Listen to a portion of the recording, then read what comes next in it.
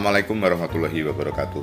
Teman-teman jumpa lagi dengan Om Tris CMKM Teman-teman dan sahabat semua di mana pun Anda berada Semoga kita ini selalu mendapatkan perlindungan dari Tuhan yang Maha Esa. Mudah-mudahan kita selalu mendapatkan hidayah agar selalu bisa menebar kebagusan Menebar kebaikan cinta terhadap bersama dan kemudian kita menjadi bahagia dan sejahtera sehat selalu. Amin ya robbal alamin.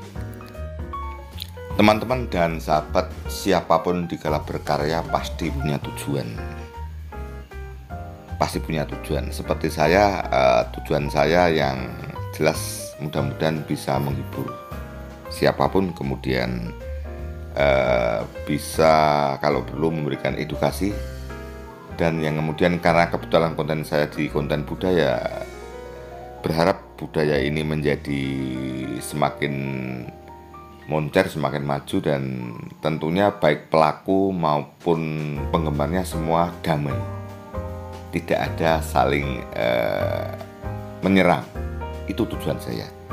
Teman-teman ternyata di dalam membuat ini saya tentunya kan akan melihat-lihat ya channel-channel di mana pun itu sambil mencari referensi saya juga termasuk mencari inspirasi. Ya ternyata teman-teman lucu. Ternyata ada satu channel yang uh, penontonnya dikira Om Tris TMKM banyak yang salah ya. Dan akhirnya si konten kreatornya mengatakan bahwa saya ini bukan Om Tris ya. Tidak apa-apa. Makanya itu loh teman-teman yang cermat tuh ini siapa ya ya seperti itu. Dulu kok ya ada yang keliru, teman-teman banyak yang keliru ya. Dari satu video itu banyak sekali yang offset mengatakan bahwa itu Om Tris CMKM. Lucu ya.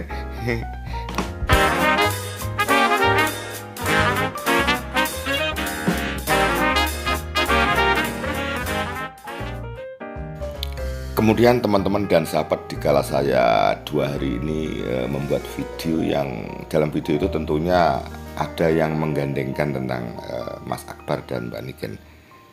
Kemudian ada yang mengatakan sudahlah Om tidak usah mengurusi tentang cinta. Tidak, bukan itu. Tetapi tetap kan harus dimulai dari percintaannya itu. Tetapi saya tidak akan me membahas tentang cintanya ya uh, percintaannya itu kan mempunyai dampak ya mempunyai dampak gitu loh jadi poinnya poinnya sebenarnya ya begini uh, agar budaya itu menjadi damai baik pelaku seninya maupun si penontonnya. Seperti itu. Kemudian teman-teman saya terima kasih. Saya sebagai orang yang biasa banyaknya komentar-komentar itu akhirnya menginspirasi saya. Oh itu itu itu ya seperti itu ya. Seperti itu teman-teman. Jadi yang banyak dulu diserang kepada saya itu karena saya hanya mengonten eh, yang paling dominan salah satu. Itu perlu saya ulangi bahwa itu memang kebetulan saya untuk mengkonten itu bukan mencari yang mudah.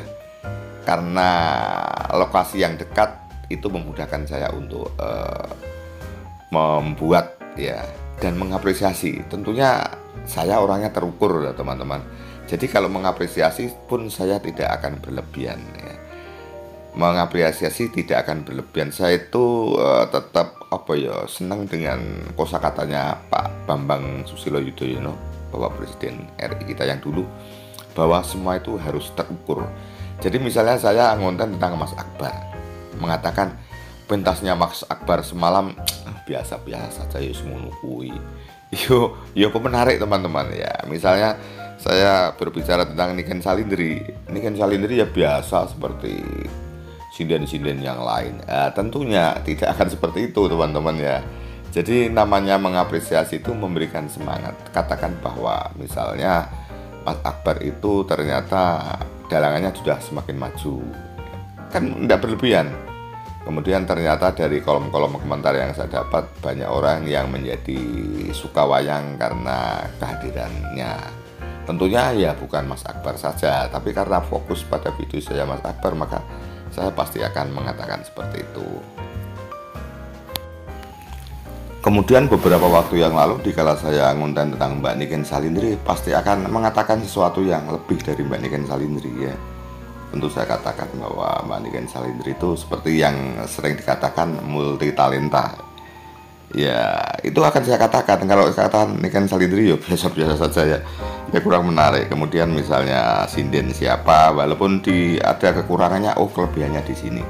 Teman-teman misalnya kita jadi juri kesenian itu tidak ada loh nilai eh, penjurian itu yang di bawah 6 teman-teman ya. Jadi kalau kita misalnya ada lomba sinden 4 itu ada semacam rambu-rambu nilai terendah 6 tertinggi 95 kan gitu ya tidak ada yang satu nilai 90 yang satu nilai 0 itu tidak ada uh, dalam uh, penilaian sebuah lomba di bidang kesenian apa saja.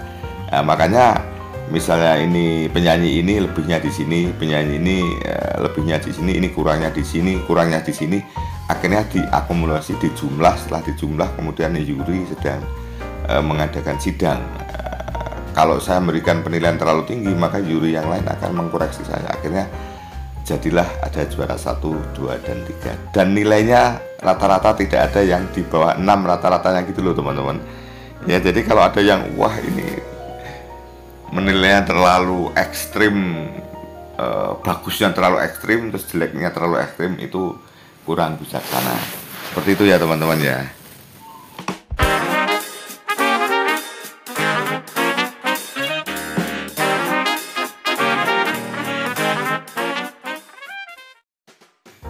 Kemudian teman-teman sebenarnya keprihatinan saya di akhir-akhir ini di kala saya mengunten tentang budaya tradisi ini itu adanya kebiasaan saling menyerang sampai ke hal yang personal. Kalau namanya mengkritik saja, memberikan masukan, saya kira itu saya setuju, setuju saja. Kemudian saya mengatakan apa ya penyebabnya? Kok bisa sampai segitunya? Gitu loh teman-teman. Kok bisa sampai segitunya saling uh, menyerang sampai ke hal yang personal ke hal yang privat? Uh, akhirnya saya mencari-cari uh, karena ternyata menurut uh, hemat saya banyaknya informasi yang simpang siur. Banyaknya informasi yang simpang siur seperti adanya konten-konten yang sebenarnya konten itu hanya konten hiburan saja jadi konten sandiwara-sandiwaraan kemudian yang diperankan adalah artis-artis uh, yang terkenal lah itu akhirnya harapan saya sebagai netizen itu pandai-pandailah memilih seperti yang saya katakan tadi. Oh ini hanya konten bohong-bohongan, artinya uh, ini hanya untuk entertainment anda, untuk hiburan saja. Kemudian ini adalah konten yang uh, mungkin ingin menjelaskan sesuai dengan fakta walaupun tidak pure karena fakta yang sebenarnya itu bukan milik kita. Itu loh teman-teman. Akhirnya kemarin di video-video saya 2-3 hari ini kok komentarnya banyak yang bagus gitu loh ada satu dua saya pikir ya memang itu kebiasaan ya teman-teman ya itu teman-teman yang ingin saya sampaikan jadi saya tidak ingin uh, membahas tentang cinta tetapi karena cinta itu menjadi pemicu maka tetap untuk jalan saya bercerita harus uh, seperti itu kemudian hati-hati ternyata juga ada uh, satu konten yang dianggap saya gitu loh. Uh, dan itu bukan saya tapi menurut saya kan kebetulan kontennya bagus tidak ada masalah. Tapi kalau waktu itu kontennya mungkin agak ekstrim akhirnya menyerang di saya ini akhirnya menjadi salah. Itu salah satu contoh. Jadi sebagai netizen sebagai penonton sebagai penggemar tentunya damai damai damai. Akhirnya si pelaku seninya menjadi nyaman. Kemudian banyak teman-teman kesenian uh, seniman seniwati yang mau berkarya menjadi juga nyaman. Akhirnya uh, wahana atau kancah budaya tradisi ini semakin ngeremboko semakin berkembang dan tentunya kalau seperti itu akhirnya kan masyarakat banyak menjadi terhibur ya masyarakat menjadi terhibur ya baik yang langsung bisa melihat di lokasi ataupun yang uh, bisa melihat di live streaming atau di media, media sosial. Itu teman-teman pesan yang ingin sampaikan dalam video saya ini. Uh, mudah-mudahan uh, semakin ke sini uh, pertentangan saling menyerang itu semakin reda dan tentunya tidak akan tidak akan bisa selesai tetapi minimal uh, menjadi lebih sedikit gitu loh silakan berpendapat silakan mengkoreksi tetapi uh, untuk kebaikan semuanya. Dan janganlah sampai ke hal yang personal yang privat. Nah, itu yang pesan yang ingin saya sampaikan. Seperti dalam gambar-gambar ini mungkin kita senang ya teman-teman. Ke wayang yang dulu sudah mulai akan ditinggalkan redup akhirnya dengan adanya pemeriah seperti Mbak Prigel, Mbak Niken, Mbak Lintang Kairo, kemudian dan lain-lain akhirnya masyarakat itu menjadi terhibur itu loh dan mudah nontonnya sekarang itu bisa melihat di rumah gitu loh. Ya, tapi kalau ada saling menyerangkan ya disayangkan. Tapi saya yakin Eh, dengan adanya semakin cerdasnya netizen itu karena memang banyaknya informasi yang membingungkan informasi yang membingungkan maka caranya oh ini, ini tidak benar. Oh ini hanya hiburan belaka. Oh ini memang ingin menyampaikan secara fakta. Seperti itu loh teman-teman. Akhirnya kita menjadi nyaman ya. Uh, siapa pun yang pentas kalau perlu ya. Kalau perlu biar tidak mengkultuskan seseorang. Ya lihat yang lain yang lain. Termasuk saya nanti akan juga mengkonten yang lain biar ada perimbangan. Karena ya apa pun dikala saya diserang seperti itu ya saya tidak merasa terlalu benar gitu loh. Mungkin saya juga eh, maksud saya benar tetapi persepsi orang akan berbeda. Dan itu wajar. Itu juga membuat saya untuk berpikir. Itulah teman-teman ya yang bisa saya sampaikan. Mudah-mudahan video saya ada manfaatnya ya.